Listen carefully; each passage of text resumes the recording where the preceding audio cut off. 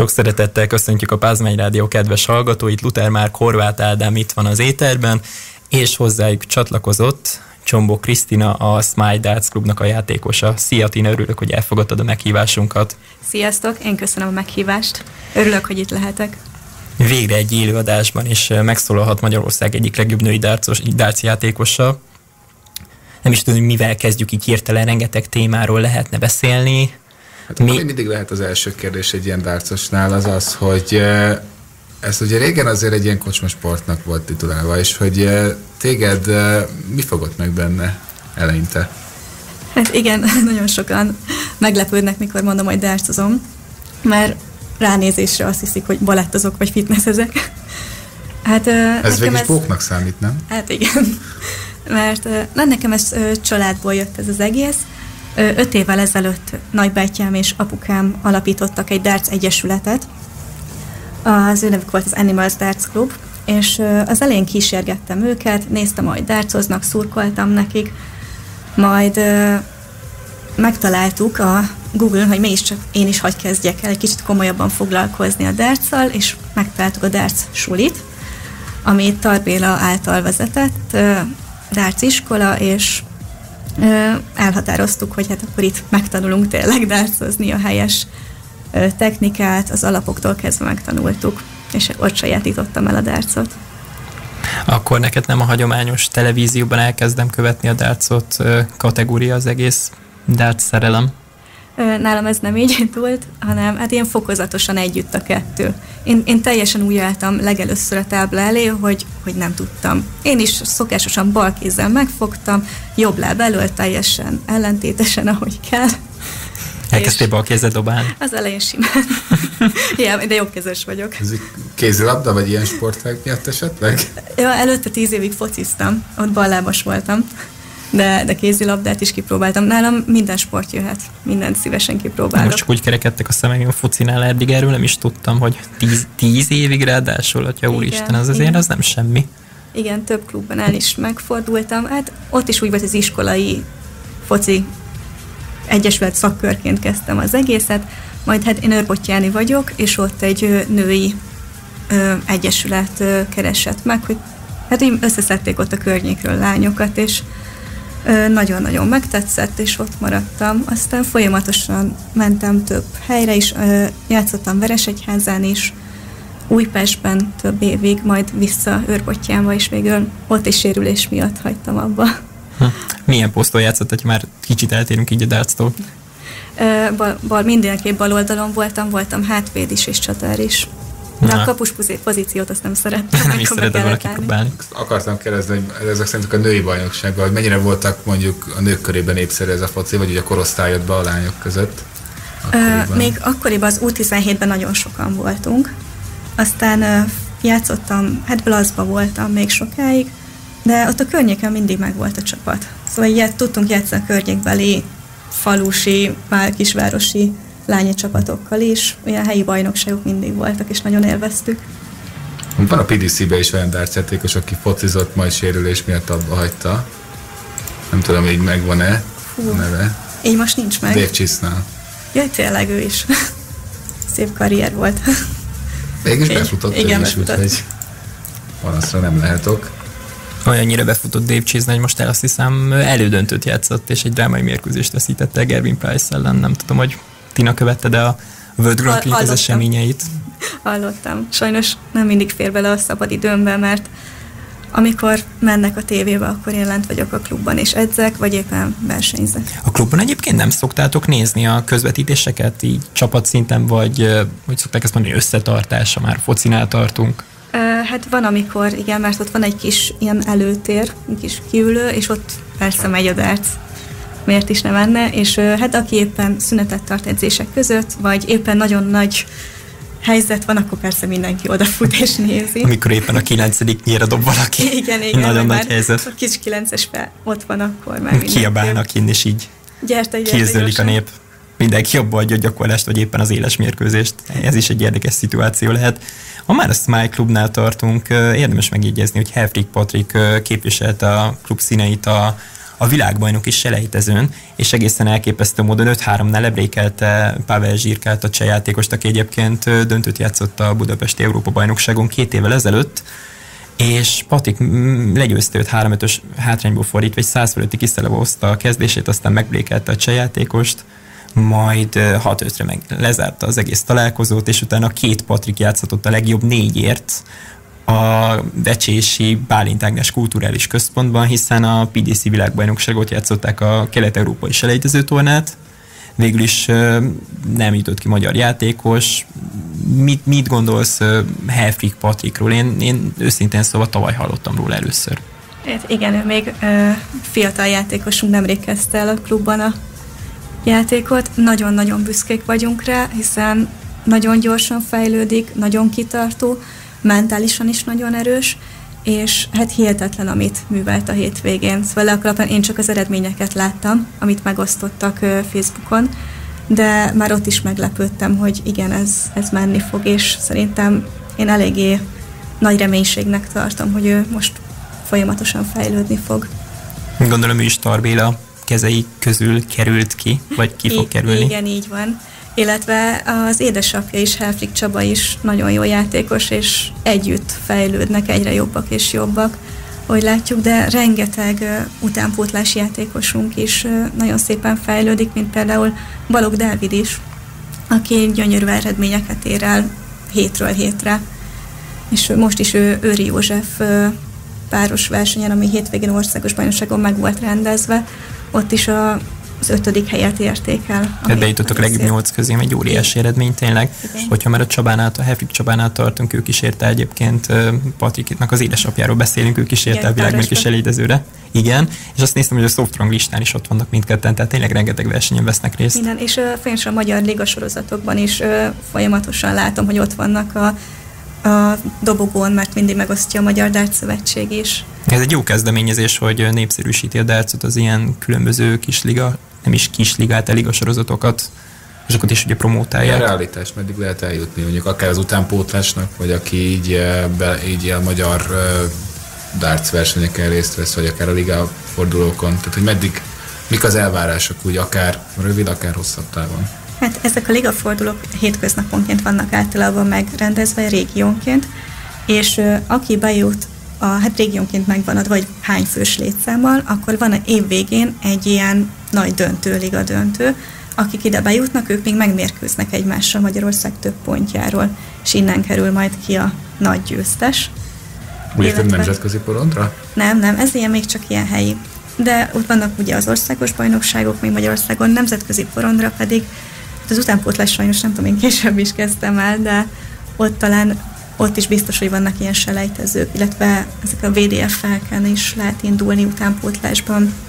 Ott is különböző versenyek vannak, és szerintem a PDC is biztos rendez meg. Ha jól látom, online bajnokságot is elindítottak. Az online, is. amiben te is most, indultál, nem? Nem arra gondolsz? Igen, most én is indultam egybe, amin sajnos nem sikerült kijutnom a csoportból. De nagyon közel voltál hozzá, hogyha jól láttam. Igen, legarányok Ez is olyan volt, mint a home tour versenyek, hogy így otthon, játsz, otthon játszatok, uh-huh. és ilyen kamerával figyelik? Igen, teljesen olyan volt, annyi, hogy nem volt harmadik személy, aki bevezesse a mérkőzést, hanem nekünk kellett.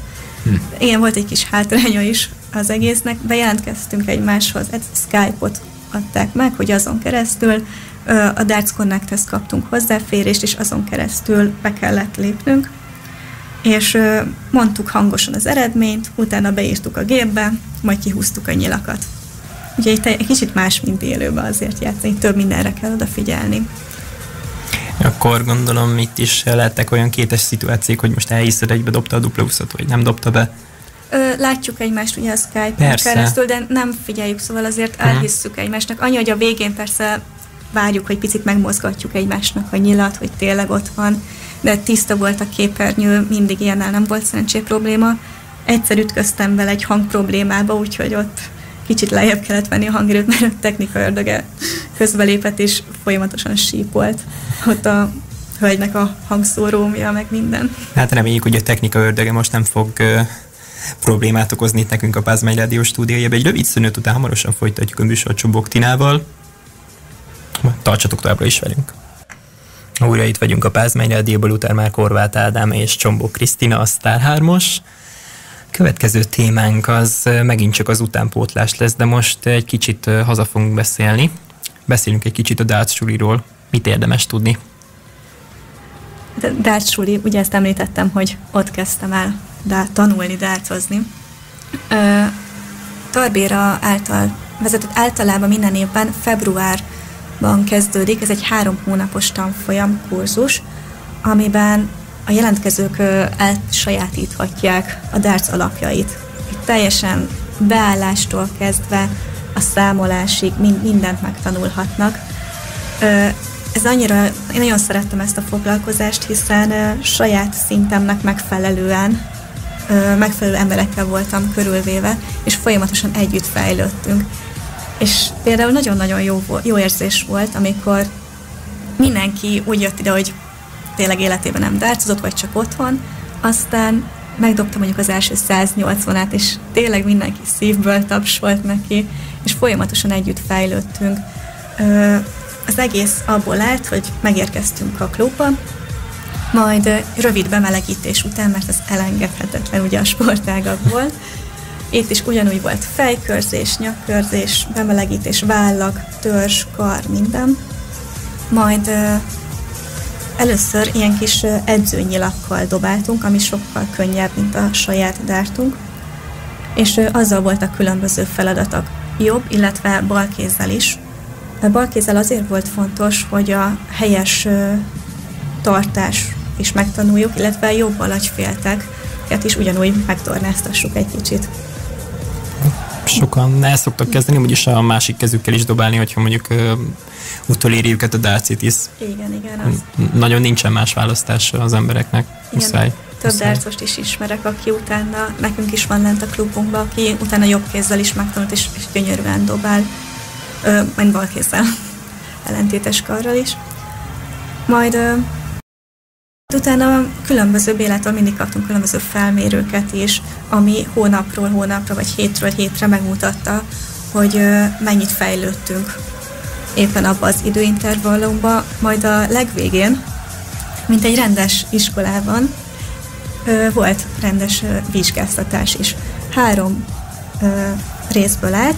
Az egyik volt egy elméleti része, amiben kaptunk rendes, szerintem volt 10-15 darab tétel, hogy mégis megtanuljuk a darts történetét, a darts alapjait, a mentális felkészüléstől kezdve pszichológiai részét.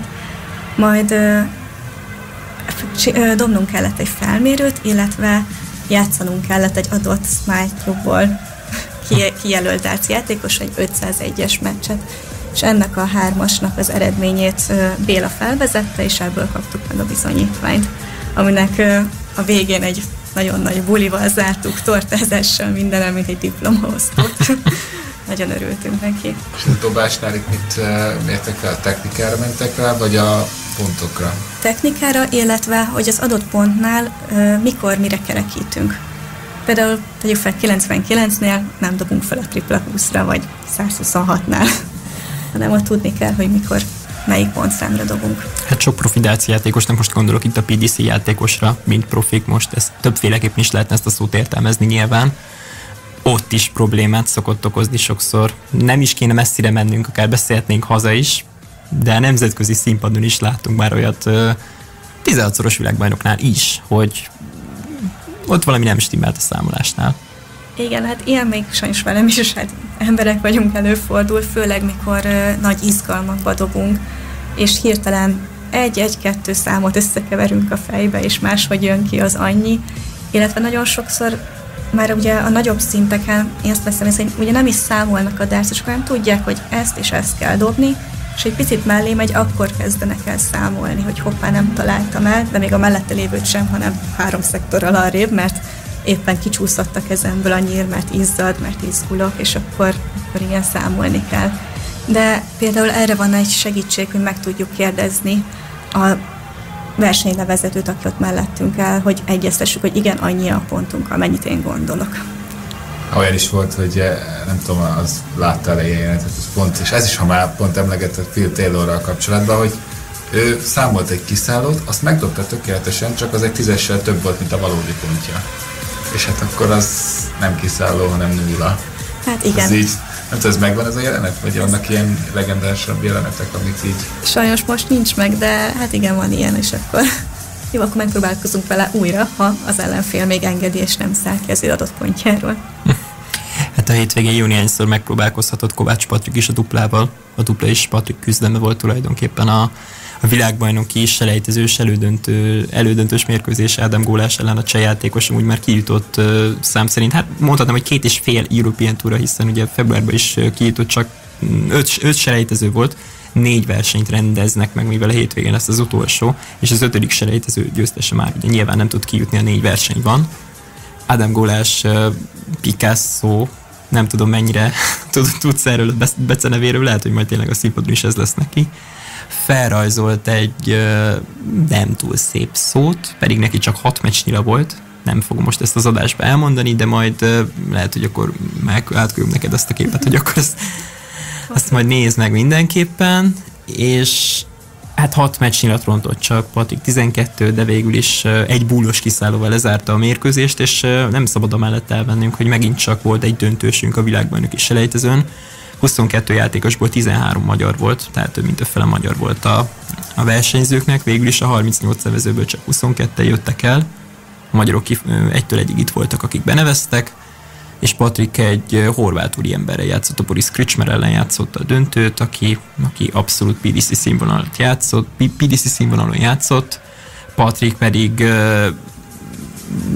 hozta a stabil 80-as átlagot, az utóbbi hónapokban amúgy nagyon-nagyon kifogástalanul és tényleg szépen teljesített versenyről versenyre, de szombathelyen hibátlan volt, ott szombaton és vasárnap is nyert, most hétvégén ugye megnyerték a párost, az egyénit azt nem tudta megnyerni, ha jól emlékszem, Papraimud ellen kapott ki, mint ahogy lehet, hogy pont augusztusban is, bár arra most nem esküdnék így hirtelen meg, de ami, ami nem biztos, benne is menjünk bele.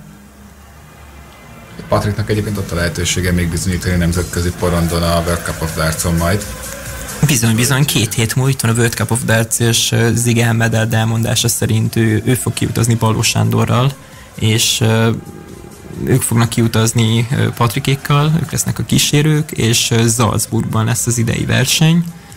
E, ezt a versenysorozatot, vagy hát ezt a világbajnok, csapatvilágbajnokságot júniusban szokták megtartani, de hát most a koronavírus miatt ugye ez is ez is tolódott egy fél évvel. Először Grác, Grácot nézték ki helyszínnek, aztán mivel a World Series of Darts döntőjének ugye ez Salzburg adott otthont, ezért a tévé közvetítés miatt úgy döntöttek, hogy akkor mégiscsak maradjon Salzburg, és ne hozzák közelebb Grácsba ezt az egész versenyt. Mit vársz a fiúktól? Nem tudom, hogy mennyire vagy jobb a Patrikkal vagy Morzsival, de gondolom szurkolsz is a magyaroknak. Természetesen nagyon szurkolok a srácoknak. Hát én mindenképpen győzelmet szeretnék, mint mindenki. De nagyon nehéz lesz, de az a lényeg, hogy élvezzék. Én azt üzenem nekik, hogy ott lehetnek, és igen, akkor fognak, tudnak, hoz, tudják hozni, amit tudnak mert na- nagyon-nagyon ügyes mind a két játékos, és én bízok bennük, és mégis csak egy világklasszissal fognak játszani, minek, ami már nagyon nagy Mondhatod dolog. azt is, hogy legendával egyébként. Hát igen, már, úgyhogy... 30 évvel ezelőtt dobott 9 a BDO világbajnokságon, csak ennyire egy legendáról beszélünk. Én is legutóbb majdnem sikerült is neki, ha jól emlékszem. Két éve a PDCV-ben is rádobott a Gary Anderson ellen a dupla 12-re. Igen, 8 tökéletes nyíl meg volt. Hát ő volt a legközelebb hozzá, jól emlékszem azon a világbajnokságon.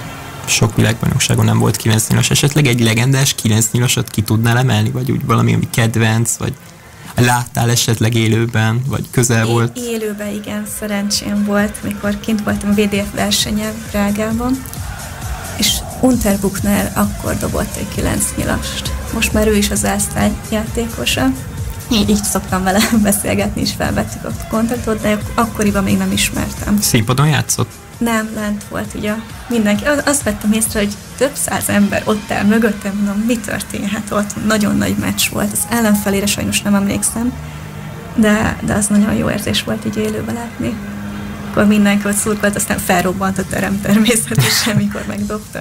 Legközelebb akkor voltam hozzá, amikor Takács Gábor dobott majdnem egy 9 most a februári selejtezőn, de ezzel kapcsolatban is majd fogunk még beszélgetni esetleg 9 nyilasokról és különböző témákról a következő részünkben, de most hallgassátok Bon. Hamarosan folytatjuk itt a Pázmány Rádióban. Újra itt vagyunk a Pázmány Rádióban, Luther már Korvát Ádám és Csombó Krisztina. Élőben, egészen pontosan a BMS épületének a stúdiójában, ahol még rengeteg számtalan izgalmas témáról fogunk még az elkövetkezendő körülbelül fél órában beszélgetni. Az első vendégünk a pénteki napon Takács Gábor volt, aki a kelet-európai PDC selejtezőn is részt vett a hétvégén a Vecsési Bálint Ágnes Kulturális Központban. Egészen pontosan Taki bejutott a legjobb nyolc közé, ahol illetve hát ugye az első mérkőzésén Végső János győzte le 6-5-re, egészen szoros mérkőzést játszottak, 7-8 körösöket dobáltak végig, egy szűk 80-as átlag azért kijött abból a mérkőzésből is, aztán Taki a következő mérkőzést már elveszítette egy jól emlékszem, akkor egy horvát, vagy egy szerb srác, biztos az a lényeg, hogy egy szláv volt, teljesen mindegy ebből a szempontból. Általában lengyelekkel szokott lenni ez neki a saját bevallása szerint. Hm, igen, Sebastian Steyer ugye egészen pontosan az egyik uh, legnagyobb ellenfele, vagy egy ugye Krzysztof Ratajewski, Csuk, akár róla is beszélhetünk, hogy már a lengyelek, de, de még egy kicsit uh,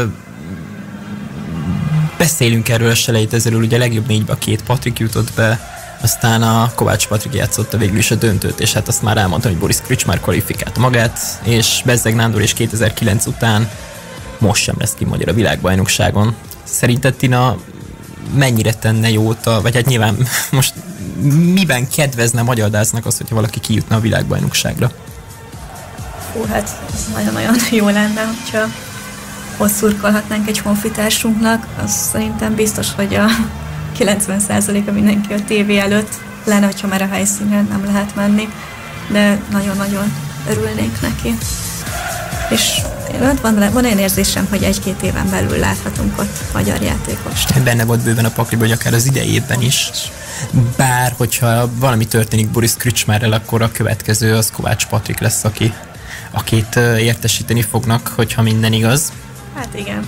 Úgyhogy akár még ebben, ebből a szempontból reménykedhetünk is, és akkor lehet, hogy Zigel Medár nem a Sport TV stúdiójában fog majd tudósítani az eseményekről, hanem a helyszínről és az Alexander Palisről fogja az élménybeszámolókat küldeni Fülöp Lacinak, Gyulai Mikinek, és ugye nyilván Vereckei Lajosnak, a PDC Egérien Fanklub, illetve a PDC Europe-nak a ez Amúgy egyik... Ide most egyszerű, egyszerűen ki tud esni valaki a esetből, egy pozitív tesztet produkál, és már is nem mehet. Ezt a mémet, ezt a mémet figyeljétek, amúgy, amit amúgy Twitteren láttam, kiírták, hogy pozitív koronavírus teszt miatt pont, pont, pont, ugye nem tudni, hogy ki, Fallon Serok bejutott, mivel ugye a Sky Sport nagyon nyomatta Fallon Serokot nyilván a két győztes mérkőzés után.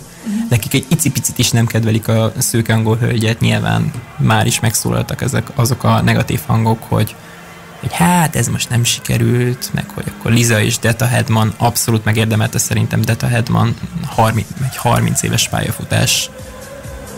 Nem is mondanám, hogy vége felé. Ő minden évben rendszerint el szokott látogatni a Hungarian Operre, ugye október végén, november elején, amit idén is megrendeznek, de tudtommal most nem, nem, fog, nem fog eljönni. Nem tudom, mit tudsz róla, hát vagy külföldiekről. Így, hogy kijutott, így lehet, hogy most arra megy rá a keretük, meg minden most arra készül, Viszont több, tudok több külföldi dárcosról is, akik már rám írtak, és terve, tervezik, hogy jönnek Magyarországra. Csepegtethetsz néhány informá- némi információt, hogyha esetleg belefér az adásba, nem tudom, hogy mennyire publikus vagy nem publikus. Megkérdezhetem két másodpercen belül, hogy de eddig mindenképpen. Ez a modern technikában minden egyből gyorsan működik. Igen, amúgy, hát, szóval elmondhatom, ez egyik Erik Famanen, a másik oh. pedig John Scott. Hát John Scottról már hallottam a pletyákat, hogy ő mindenképpen érkezni fog. Igen, igen. Ő is uh, rendszerint minden évben vendég szokott lenni, mint a Jailin de Graaf is a hollandoktól, aki, aki szintén negyedik volt a világban is selejtezőn, mint falonseruk pénzre pontosan, vagy hát dollárra, vagy hát ugye fontban mérik a dárcot, fontra pontosan ugyanannyi pénzt kasszírozott, kasszírozott, 1250 fontról beszélünk, ami szintén nem kevés persze, csak most vannak olyan tornák, amiken ugye nagyobb pénzdíjhoz vannak szokva a játékosok, a hölgyek is, Egyébként mindjárt ránézek a Magyar Dart Szövetség oldalán, hogy kik vannak már benevezve. Jók az információm, akkor Mihály Andris posztolta ki a hétvégén, hogy a Hungarian klasszik versenyt ugye október 31-én, november 1-én pedig a Hungarian Masters fogják megrendezni.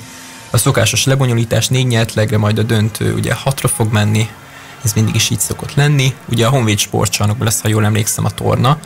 De, de mindjárt nézek egy... Igen, is úgy tudom.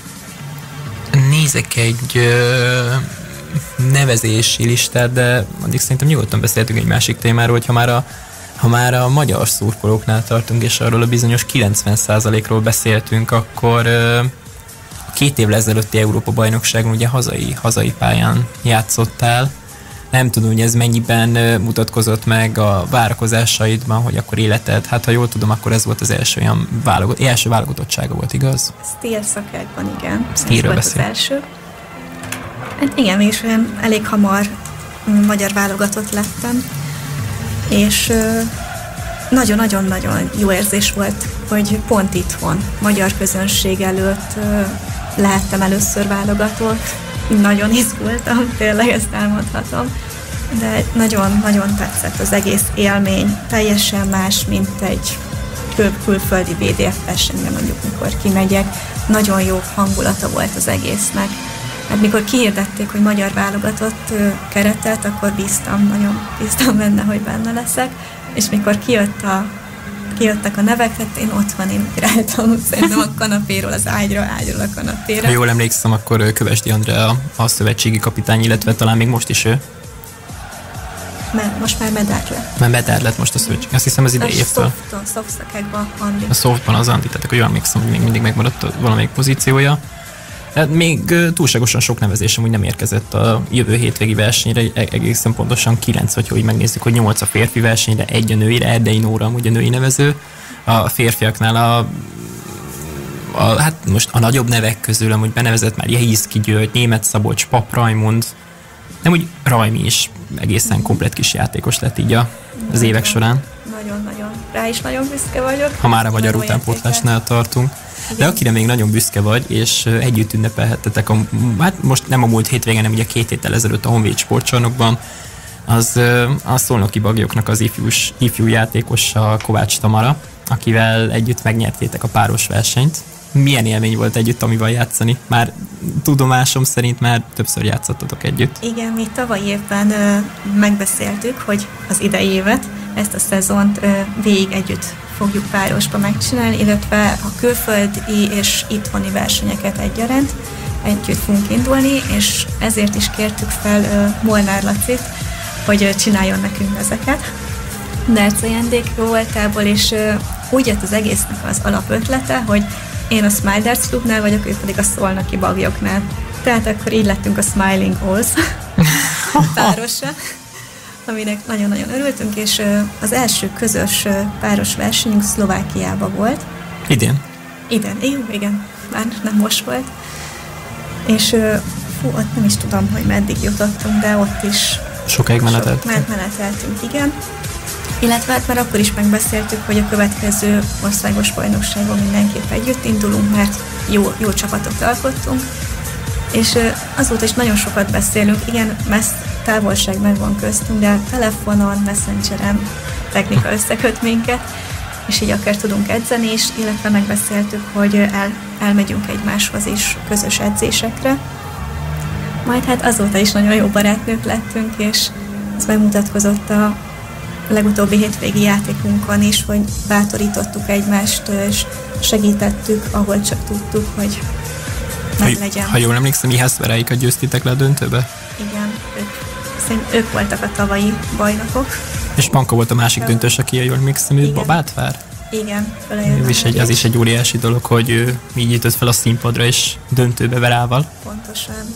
Úgyhogy hamarosan már anyuka lesz, és még így is, mint a legtöbb dártos Anasztázia Dobromiszlova is a véglegetig, végtelen, nem, véglegetig ott volt.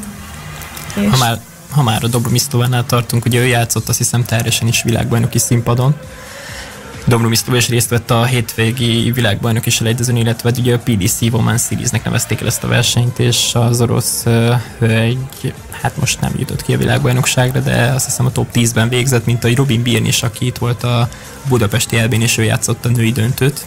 Jól még hogy a Fiona Gaylor ellen éppen el is bukta, szegény el is sírta magát, én sajnáltam. Igen. Le, a tizedik legmagasabb átlagot azért így büszke voltam rá, hogy két évben még itt a Budapesti elbén, aztán már a világbajnok is elejtezőn is egészen ütős kis eredményt ért el. Igen, ő sem a kezdte. A Bill sem?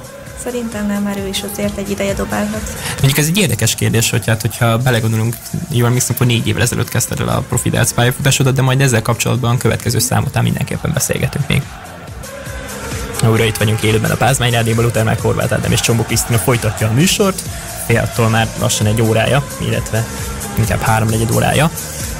És nem is talán még a sérülésekről nem is beszéltünk Tinával kapcsolatban. Hogy ismerted meg Kovács Tamarát? Jó, ez a sérüléshez nem kötődik. uh, legelején, szerintem ez két, év, két évvel ezelőtt volt, mikor uh, úgy mentem el a diátadóra decemberbe, hogy Hát sajnos mind a két karom fel volt kötve, mert részleges izomszakadás lett mind a két karomba.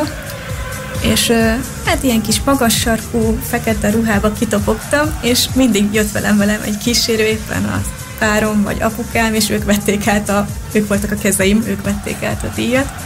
És már Tami akkor felfigyelt, mesélt, hogy úristen, szegény lány, mi történhetett vele, és akkor rám írt, hogy jobbulást kíván, hogy vagyok, és szerintem innen kezdődött nekünk az egész beszélgetésünk. Csak két olyan mondat jött, amiből ami azóta is... Nagyon jó barátnők lettetek. Igen, igen, akkor kezdtünk el beszélgetni, és ha jól emlékszem, ő akkor volt az évreménysége, ö, azt a díjat kapta meg, és akkor én is ugyanúgy gratuláltam neki, és azóta tartjuk a kapcsolatot. Illetve amúgy is sérülésre visszatérve, rá egy évre sajnos megint volt egy sérülésem. Kint voltunk Németországban, és dobás közben túlerőltettem a jobb alkaromat, és ott is részleges izomszakadást Jó, csak az egyik karod? Ott csak az egyik, igen. Nem is tudtam, hogy mindkettővel. Először mindkettő, másodjára csak a jobb.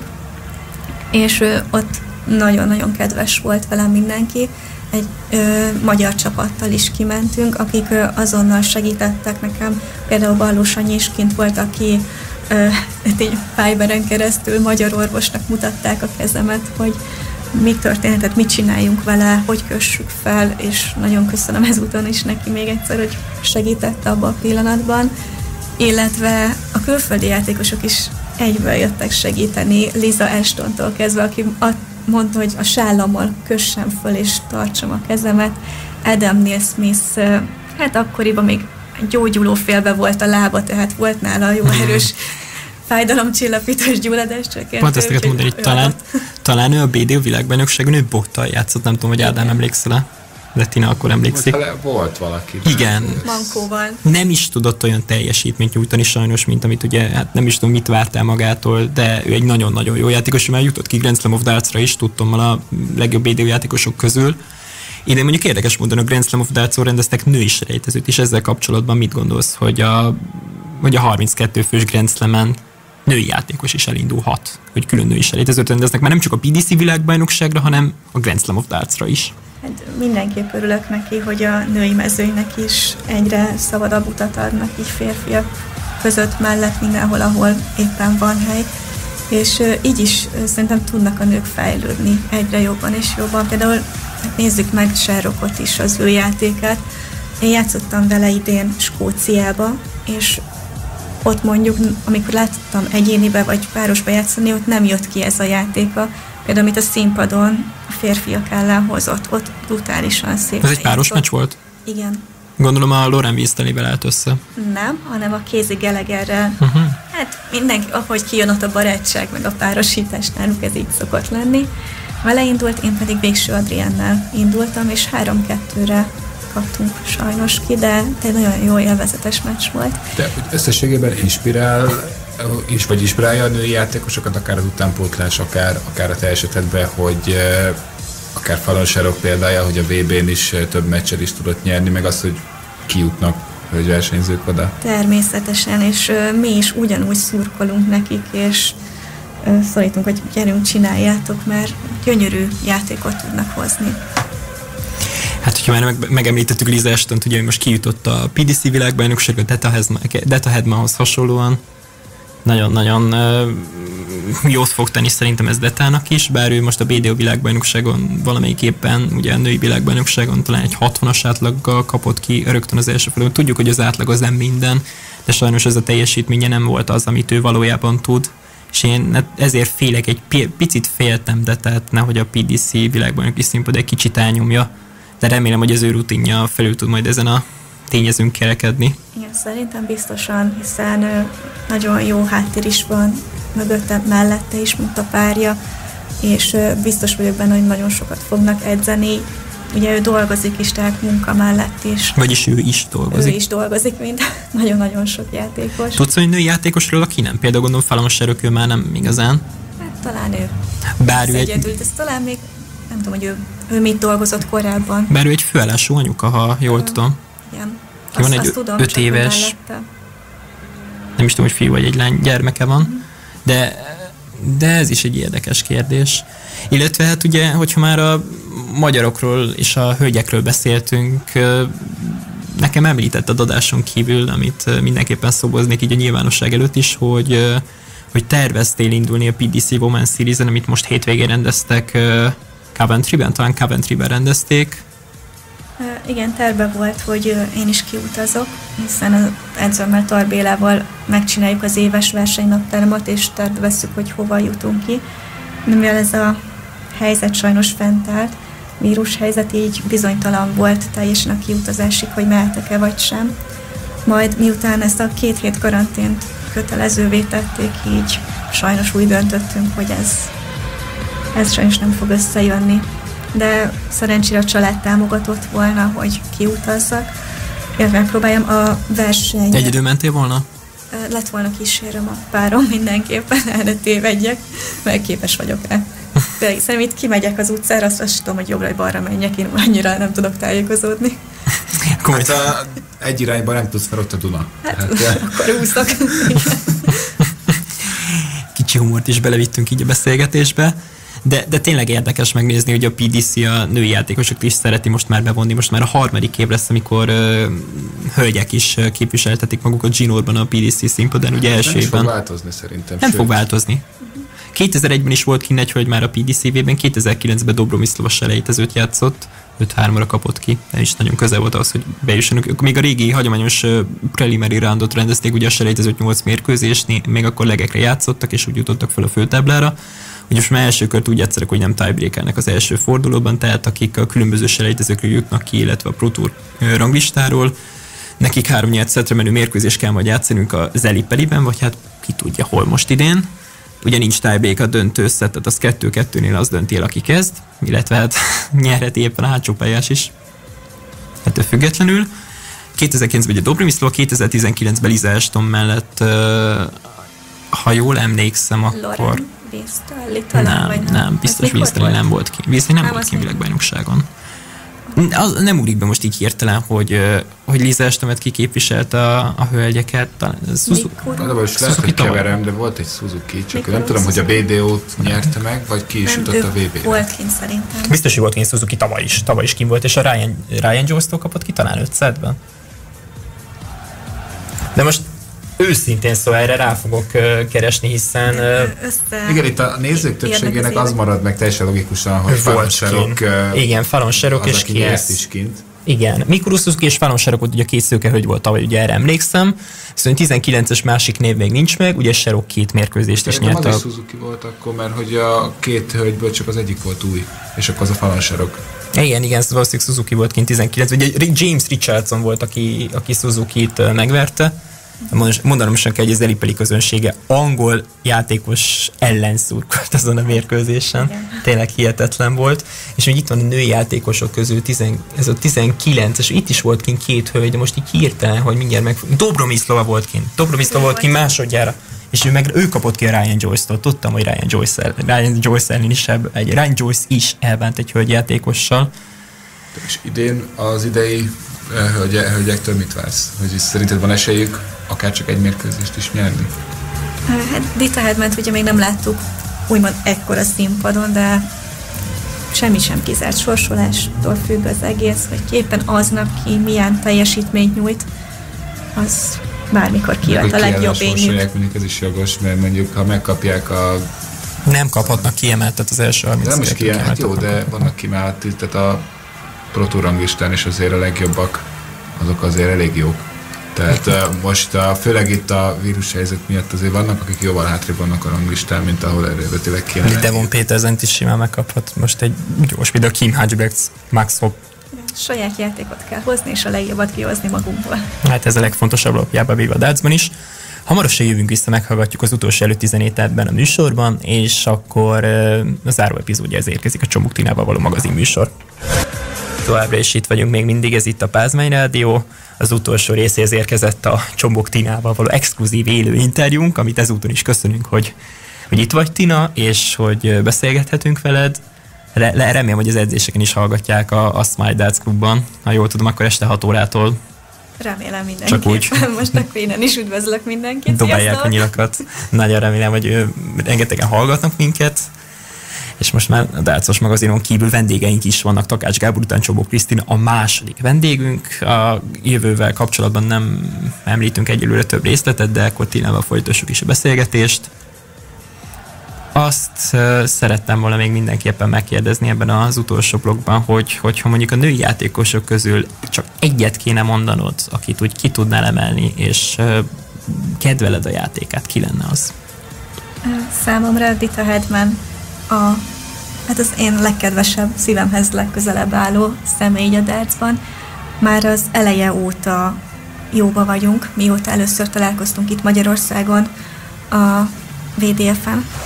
Hungarian Masters-en találkoztam vele először, és nagyon jól esett, hogy oda jött hozzám már a párja is, hogy nagyon szép a technikám, nagyon jól dobok, és remélik, hogy a közeljövőben fognak még engem látni, és már akkor bátorítottak, hogy csináljam, nagyon szépen dobok a számolásra, még figyeljek oda, felhívták a figyelmet, és tudtam persze, hogy akkoriban még ne, nem tudtam jól számolni, azért én se úgy kezdtem, hogy profi vagyok. Játszottál ellene két éve, hogy? És igen, és le, mindig láttam, hogy ö, szerencsém volt, mert ugyanarra az ágra kerültünk, és nekem az volt a célom, hogy mindenképpen jussak el odáig, ahol ő van. És az első nap sajnos pont előtte egy meccsel estem ki, viszont ugye már így írhattam az ő meccsét. És már akkor is nekem nagyon nagy dolog volt, hogy kezet foghattam vele kezdő dárcosként, és utána folyamatosan ezen voltam, hogy játszhassak, játszhassak, és valahogy mindig így jött ki a lépés. Kint voltam Németországba, és első alkalom, első meccs itt a headman összesorsoltak. Nagyon örültem neki, hiszen nekem ez mindig is egy kihívás volt, hogy elérjek az ő szintjére, és tavaly sikerült is ö, megszorongatnom, 4-3-at játszottunk. Talán még én voltam, én, én voltam az írója. Vagy író volt. Én voltam az író, egy előző mérkőzésedet közvetítettem talán. Igen, és... Vagy hát ta, sokáig tartott, sőt vezettél is talán három egyre. Igen, sajnos igen, és onnan. Hát bennem volt ez, hogy úristen, megnyerhetem a versenyt, meccset, mégiscsak egy Dita Hedman ellen, és hát onnantól ő is bekeményített. Dita is szépen ostorozza magát amúgy, hogyha valami nem megy neki, vagy á, Dita, mindig még ő is. Igen, nagyon mentálisan is nagyon erős tud lenni, utána fel tud jönni tényleg, mikor nagyon maga alatt van, és sokszor figyelem így élőben a játékosokat, hogy mit csinálnak akkor, hogyan fordítják meg magukban ezt az érzést, hogy igenis én itt vagyok, és meg tudom csinálni, meg tudom fordítani akár három egyről is azt a meccset. És, és igen, nagyon jó a mentális képességük ehhez. Hát itt van tényleg egy legendás játékos, és most a hölgyek esetében a korról nem, nem szoktunk beszélni, de ő már 50 fölött jár. 60 fölött. Sőt, igen, nem, nem akartam igen. mondani. Hát itt ünnepeltük pont a Hungarian open ugye a születésnapját volt egy születésnapi díjátadó is, ha jól emlékszem. Ez tavaly volt. Tavaly, tavaly. Szerintem tavaly volt, igen. az évek, de lehet, hogy tavaly, tavaly. tavaly. Hát, Harsány Enikőre emlékszem, hogy ő adta át az ajándékot is, és megünnepeltük. Én is készültem neki egy személyes ajándékkal. Azt elárulhatod, hogy mi az? Hát egy közös fotót adtam neki. Ó, oh, de jó. És Mit? nagyon megköszöntem, mert hát utána még jött a, azt a Sport TV is, mikor nyilatkozott itt is megemlített engem a tévében, akkor így kicsit elsírtam magam, hm. hogy nagyon jól esett. Előre ünnepeltél. Mondhatni őt ilyen példakép? Igen. Vagy neked olyan, ez mennyire Hát igen, bármikor találkozunk külföldön, vagy itthon, akkor már egyből egymás karjaiba borulunk, és üdvözöljük a másikat, megkérdezzük, hogy van, hogy teltek a napok, és sok sikert kívánunk egymásnak. 1987-től dárcozik, bő 30 éves pályafutás csúcsához érkezett a PDC. Nagyjából párhuzamos, majdnem akkor már. The Dark Destroyer a beceneve. Igen. Mondanám, hogy van még időm, de azért én szeretnék előbb Hát tényleg egészen. És még PDC versenyt is nyert, a 2002-es Desert Classicot megnyerte, és a 2005-ös UK Open-en egészen a 60, legjobb 64-ig jutott, ami már egészen, az már televíziós közvetítéses bőven. Hát, hát ugye az nem biztos, főtáblás. Persze, nem arról beszélek, persze. De, de tényleg, tehát Dita Hedman, az, ez, ez egy legendája a női dátsznak. Viszont vannak reménységei is a női dátsznak, akár most uh, magyar játékosokról is beszélhetünk, nyilván a külföldiekről is, akár hát Bo Greaves szemében, hogyha már angol, de nyilván Csombuk Tina után beszélhetünk bárki másról. Akkor Bo Greaves nek nem sikerült a világbajnoki kvalifikáció, nem igazán teljesített jól ezen a hétvégén. A fiatalok közül talán két játékos tudnék most így kiemelni, mint kívülálló, Kovács Tamara és, és Laci Viktória, a másik a sportdécének a játékosa, és ha jól tudom, akkor mindketten részben, ugye Tami részben, még úgy tudom, Laci Viktória pedig teljes egészében az Igen Medert irányítás alatt játszik. Igen, igen, én nagyon-nagyon boldog vagyok, mert, mert tényleg most már utánpótlás női játékosaink is egyre többen vannak, mert még mindig kevesen, de jó lennének, hogy a női mezőnyben, mert járok vidékre is, és ott találkozok még több fiatal hölgyel, akire bátorítom, hogy gyertek nyugodtan, induljatok el, hiszen van esélyetek fejlődni, mert Laci Viki mellett, Kovács Tamara mellett is nagyon-nagyon szépen és gyorsan lehet. Laci Vikit megemlíteném, hogy ő az első két, darab, két országos fordulót meg is nyerte itt, itthon, nagyon-nagyon szép, stabil játékkal. Majd a harmadik országos forduló, ha jól Veled tudom. kezdte? Igen. És akkor, akkor én jutottam tovább de legutóbb pedig Kovács Tomarának gratulálhatunk, hiszen... Most már két fordulót is nyert, ami, hogy jól emlékszem, Szombathelyen szóval. és a Honvéd sportcsarnokban is. Igen. A szolnoki bagoly repült a legmesszebbre. Igen, igen. Ez Pont utánpótlás kifejezés mondjuk azért a te esetedben is, tehát hogy eh, később kezdted, mint a legtöbb eh, fiatal szokta, ennek ellenére ez egy idő után nem fog érződni, tehát ez mondhatjuk, hogy kortalan, nem? Teljesen. Szerintem a darts az kortalan sport, nemtől függetlenül is. Szerintem még hogyha a nagymamám is elkezdeni, akkor még ő is egy amatőr szinten azért Gondolom ő is, ő is figyeli a pályafutásodat. Igen, nagyon, mindkét mamám nagyon lelkesek, nagyon szeretem őket, Facebookon, amit csak tudnak, megosztanak, úgyhogy... Reméljük, hogy ezt az adást is és remélem, hogy, remélem, hogy hallgatnak, vagy hát majd utólag, és megpróbáljuk visszahallgathatóvá tenni, és egy komplet műsort csinálunk belőle, a zenéket kivágva, hogyha minden igaz. Hát, Fordulok itt kedves kollégámhoz. Meglátjuk, meglátjuk, nyilván erre vannak tervek, meg ugye a, a, ezeket az interjúkat, amik készülnek, ezek nyilván akár többször is adásba kerülhetnek. Úgyhogy ha ezt valaki majd később már ismétlésből hallja, akkor egy picit furán fog hangzani, mint hogyha ugyanazt ne hallgatná többször, nem véletlenül. Azt elmondjuk, hogy október 19-én készül ez a műsor, és még tart néhány percig. Hát tényleg, tényleg nagyon-nagyon érdekes megemlíteni Deta Headment, még mindig nehéz elmenni, nehéz eltérni így az angol jelenség mellett, hát nagy valószínűséggel vele nem fogunk találkozni az idei Hungarian Open-en, hiszen ezt a versenyt idén is megrendezik október legvégén és november legelső napján pont minden szent esik, szinte minden évben ez a hétvége. Úgyhogy jól tudom, Tina, akkor ez lesz a következő versenyed? Igen, most erre készülünk az edzőmmel, hogy a Hungarian Open-en is minél jobban teljesítsek, illetve és nem titok, aki elindul egy versenyen meg szeretné nyerni is, így én is nagyon-nagyon nagy felkészülés előtt állok, hiszen ezután is vége az adásnak, már rohanok is le az edzőterembe. Ez egy kicsit most később kezded az edzést, de majd el fogunk engedni hamarosan. De majd bepótolom később, tovább maradok. To- tovább maradsz egy picit, aztán maximum később alszol el, természetesen mindent meg lehet oldani. Meg lehet halmozni előre folyamatosan ezt a szituációt, egész addig, még azt nem érzed, hogy oké, okay, most elég volt. Igen, csak 11 órakor be kell zárni, az a lényeg.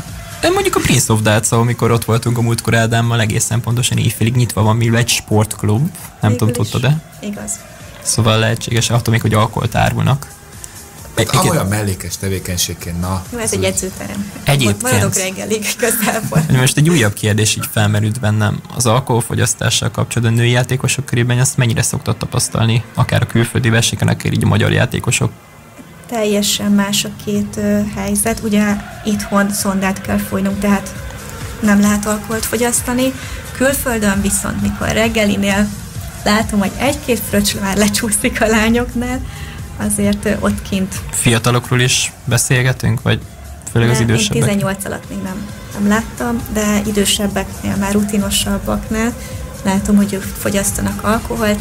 Én, én nem szoktam egyáltalán, én ezt elmondom. Próbáltam alkohollal játszani, edzeni, de nem sikerült, úgyhogy én ezt teljesen alkohol. De ezért nem vagy antialkoholista, mint Takács Gábor, aki pénteken volt a vendégünk. Nem. Nyilván meg kell adni módját egy bizonyos ünneplésnek, de de az viszont tényleg egy ö, érdekes kérdés, hogy volt-e már valamiféle rendkívüli szituáció valamelyik mérkőzéseden, hogy akár meglökött a játékos, ittas állapotban volt, már le kellett volna léptetni.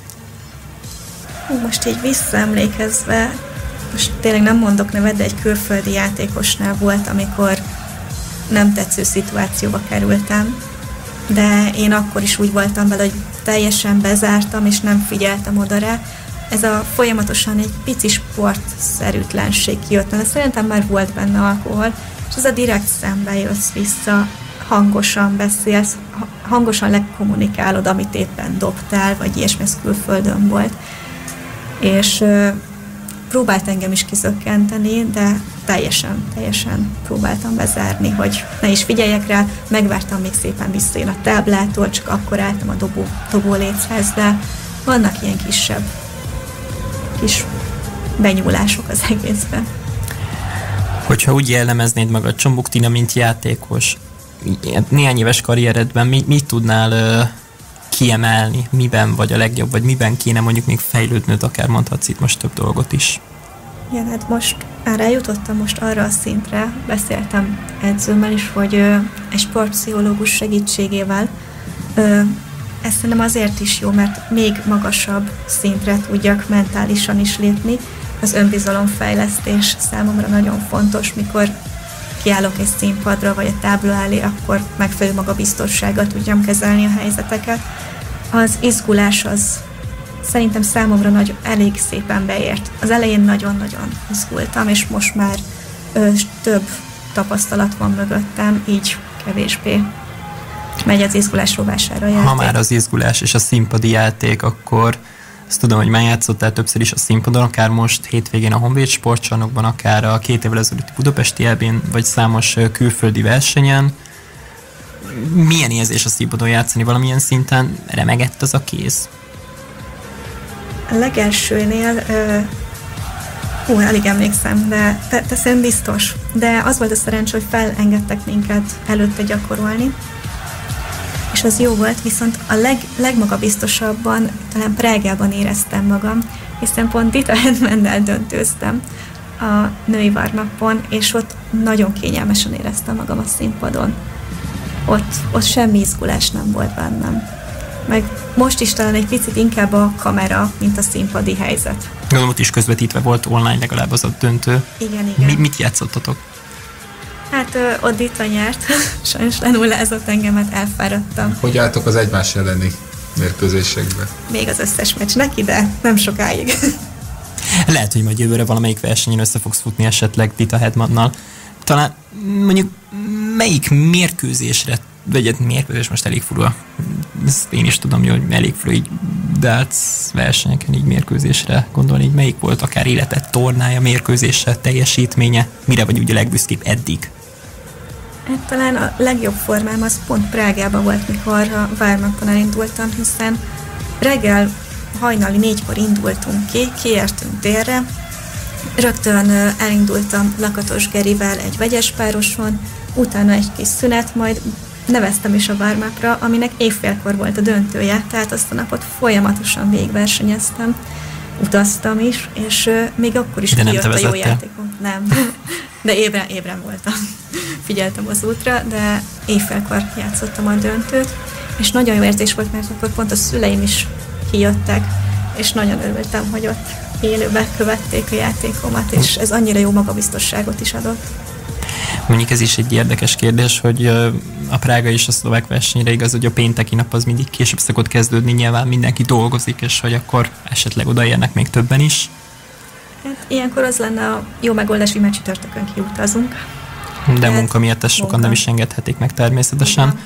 De, de ez is egy érdekes lesz ugye a Hungarian Open még azzal kapcsolatban, hogy jönnek nemzetközi játékosok is nagy valószínűség, nem tudja, hölgyeknél nem tudsz esetleg valakiről, aki úgy egyelőre akkor Hát sajnos most így nem. Hát korábban említettük Álinda Gráfot, hogy ő is... Ő mindig detával eljött, és akkor ketten is képviselték magukat, akár a BDU világbajnoki mezőnyéből. Igen, meg még korábban volt itt Karolina Podgorska is, Ratajszkinak a... Döntőt is játszott, sőt nyert is. Igen. Én, én meg Vármáp döntőztem, mert ott is Vármápon mindenhol döntőzök. Talán Rátájeszki nem volt itt azon a hétvégén, amikor Podgorska, mert ő azt hiszem... Hát akkor már szerintem nem indulhatott. Mm, Nem valószínű. Azt hiszem, nem is tudom már melyik magyar volt, aki palival beállt párosozni, és nem lehetett közvetíteni az oldalán, mivel ugye PDC játékos volt, és hát a PDC játékosokat a Professional Darts Corporation jogai illetik meg. Ezt nem emlékszek. Tehát Romániában volt, nem tudom, hogy akkor ott voltam már román versenyen. Voltam kétszer VDF-en. Szerintem pont abból a két versenyből valamelyik, valamelyiken volt ez. De, de ez is egy érdekes kérdés. Hát a akivel játszanál, de még nem volt rá mód. Fanosarokkal játszottál már? Játszottam, Mikuru igen. Suzuki? Vele nem játszottam, de mellettem lévő táblán játszott a World Masters-en. Még nálad is alacsonyabb? Majdnem egy fejjel képzeljétek. Nagyon, nagyon aranyos. Alacsony is, de és nagyon közvetlenül is. Akkor mégiscsak beszél angolul, mert a nyilatkozatokat általában japánul szokta adni. Úgy beszél angolul, mint én szerintem, hogy biztosan, biztos inkább saját nyelven, de anyanyelven. értjük az angolt, igen. Ö, vele is játszottam már. Hát akik inkább ilyen nagyok, akikkel szívesen játszanak, akkor már férfi mezőnyből szeretnék. Én is a nagy PDC játékosokkal, bárkivel. Tehát abszolút a PDC színpadára vágysz majd valamelyik évben. Természetesen Hát szeretnék most, a, hát most a eljutni. női selejtezőn simán ki lehet simán. Hát, Megvan a lehetőségetek most már rá, hogy, Igen. hogy képviseljétek Magyarországot, elsősorban Magyarországot és a hölgyeket is. De ha ez a Covid helyzet nem lesz, akkor talán még több lehetőség lehet majd a jövőben. igen, bízunk benne, hogy a jövő év az jobb lesz a sport szempontjából is. Kedvezni fog nekünk. De hogyha már a magyar játékosokra gondolunk, akkor két hét múlva World Cup of Dartson Kovács Patrik és Végső János fogja képviselni a magyar színeket. A PDC őket jelölte ki, hogy, hogy elindulhassanak a versenyen. Ez is egy érdekes kérdés tett fel természetesen, hiszen voltak olyanok, akik akik ezt a döntést megvétózták, illetve megvétózták volna szívük szerint, de nagyon-nagyon szurkolunk a srácoknak mindenképpen mi teljesen függetlenül bárkitől. Úgyhogy Kovács Patrik és Végső János hajrá, akkor két hét múlva az az, még nem is két hét, az már inkább másfél hét, majd hogy pénteken fognak kezdeni. Nem tudom még a pontos játékrendet, de a sporttelevízió fogja közvetíteni a tornát, úgyhogy mindenképpen szurkolunk majd Patyinak és Morzsinak. Ami a hétvégén nem sikerült, az hát ha majd, hát ha majd jövő hétvégén igen. Tinának szurkolunk a Hungarian Darts Weekenden, ugye a klasszik és a Masters verseny is gondolom így rendezik meg az idei évben is. Így lesz, igen. Hát így hatalmas jamborit szerveznek, ahogy az alelnök úr elmondta nekem Molnár László. Hoppá, Úgyhogy- milyen infókat tudsz majd elmondod adáson kívül. Jó, jó, jó hangulatú versenyre számítunk ö, jövő, hét, ugye, jövő hétvégén, már egészen hihetetlen, hogy lassan már novemberben is eltelik ez a idézőjében borzasztó 2020-as év. Hát Tina, köszönjük szépen, hogy hogy rövidíted a Pázmánynak a hírnevét, és eljöttél a Pázmány rádióba, illetve azon belül is a, a Pázmány Sport magazinba. Én köszönöm szépen a meghívást nektek. Nagyon örültem, hogy itt lehettem. És Várunk vissza a későbbi adásokba is, ha lesznek majd aktualitások. Jó, rendben mindenképpen. és, és nagyon remélem, hogy, hogy hallgattatok minket, nyugodtan küldjetek visszajelzéseket, engem is és Ádámot is elértek Facebookon, illetve bármelyik közösségi felületen. Remélem tényleg, hogy sokan voltatok, ez volt a második műsorunk vendéggel, ezúttal Csombó Krisztina volt velünk, pénteken Takács Gábor. Ezeket a műsorokat, hogyha később halljátok, akkor ne lepődjetek meg, hiszen ismétlésbe is le fognak menni. Még egyszer elmondom, hogy október 19-én rögzítettük ezt a beszélgetést, hogyha esetleg novemberben vagy majd a későbbiekben is majd hallgatjátok. 2030-ban. Igen, nem, és mondjuk tíz évvel előre megyünk, akkor lehet, hogy Csombó Krisztina már egy ö, egy Csombó Krisztina egy világbajnokkal készítettem el az interjút, de ne helyezzünk -e ekkora nyomást szerintem Tinára. Legyen így. De abszolút adom, hogyha így lenne, és tíz év múlva szerintem akkor már eh, lehet, hogy én sem itt leszek, de vissza fogunk jönni ebbe a stúdióba csak azért is tíz év múlva leforgatjuk ugyanezt az adást, akár október 19-én. Még egyszer köszönöm, hogy velünk tartottatok, Luther már, Korvát Ádám és Csombó Krisztina búcsúzik, valami zárószó Tina esetleg. Hajrá mindenkinek, dárcozzatok, szeressetek játszani. Sok 180-et kívánok mindenkinek. És jó Mi pedig meg nyilasokat. Igen, meg azt is. Tina zárószavaival búcsúzunk a mai műsortól. Örülök, hogy velünk tartottatok. Sziasztok!